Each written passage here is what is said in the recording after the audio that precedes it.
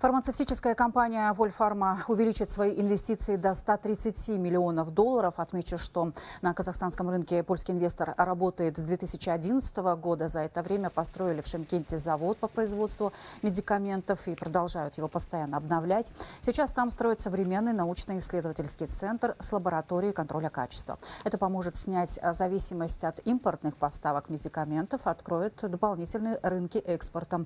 Более того, продукцию завода намерены отправить отправлять в страны Европы.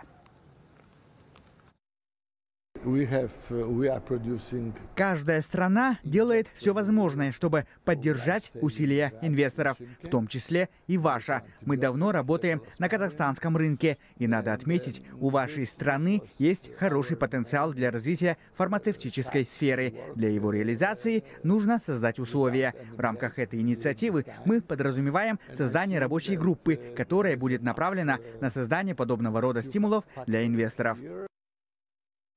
Один из таких стимулов, который увеличит количество инвесторов, это совершенствование права э, применительной практики, считает глава Ассоциации Казахстанского совета иностранных инвесторов.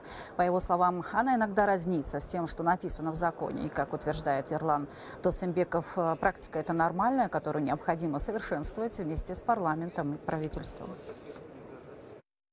Сейчас мы правительство и парламент в данный момент работают над принятием нового налогового кодекса, который ожидается вступит а, в силу с 2026 года. А, естественно, это событие привлекает внимание инвесторов, потому что мы все заинтересованы в том, чтобы налоговое законодательство было как можно более стабильным и предсказуемым.